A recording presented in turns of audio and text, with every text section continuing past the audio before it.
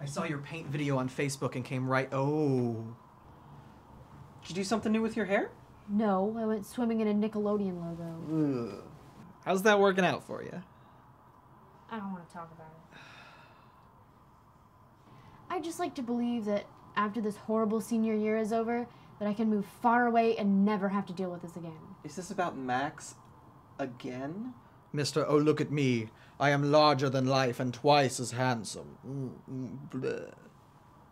The worst part is that there's this party tonight, and he's probably going to meet some super hot Nina Dobrev clone while I stay here, getting the pumpkinness out of me. He probably thinks I'm the most ridiculous person on earth. Oh, come on. The guy can't even spell orange. I doubt he noticed. Though I do think Alex may have outdone herself this time. Okay, uh, don't freak out. Uh, today, at the end of the day, she was briefing everyone on how they should say, Here comes the ugly pumpkin whenever you walk by. What?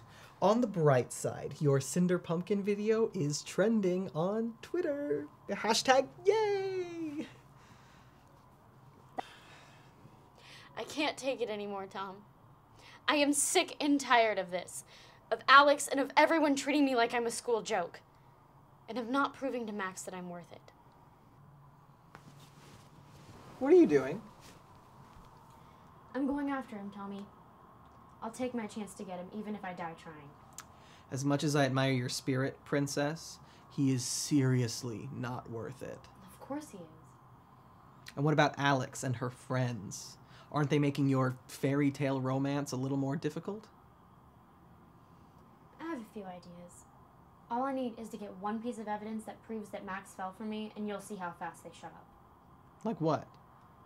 Well, I have my eye on a certain blue shirt.